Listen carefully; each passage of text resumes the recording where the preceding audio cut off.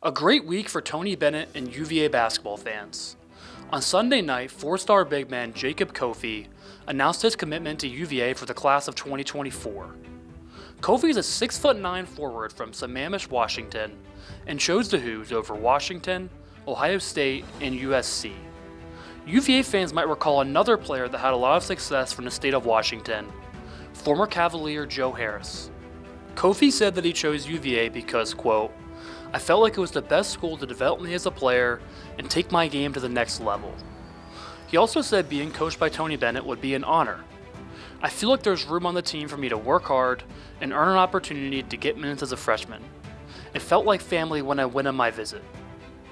Now, what should UVA fans expect from Cofie? 24 7 Sports rates Cofie as the number 93 ranked player in the country and the number one player in the state of Washington in his class. When he arrives at UVA, Cofie will bring a lot of athleticism that should help him fit perfectly with UVA's pack line defense. He also should be able to bring his athleticism and length to UVA's offense. He can face up and score in the post with the ability to also stretch the floor for Coach Bennett.